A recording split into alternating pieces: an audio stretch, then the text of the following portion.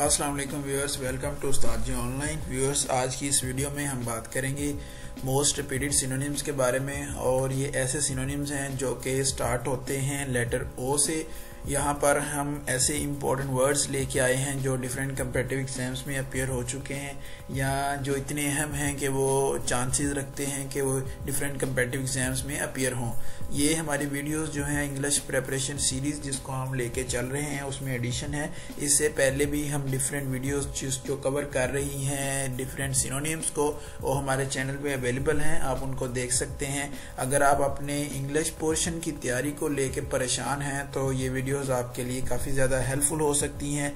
इन videos की तैयारी से आप अपने इंग्लिश पोर्शन को स्ट्रेंथन कर सकते हैं।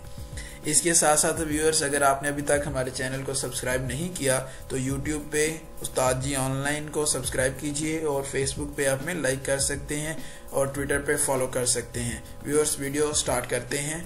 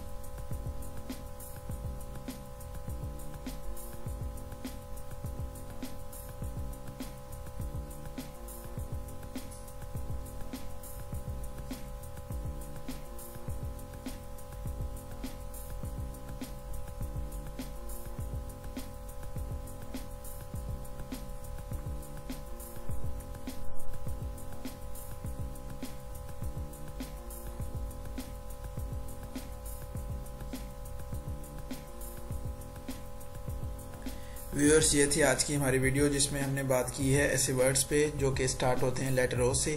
उम्मीद है आपको वीडियो अच्छी लगी है। वीडियो अच्छी लगे तो इसका इजहार कमेंट सेक्शन में ज़रूर करें। आपकी राय हमारे लिए बहुत अहमियत रखती है।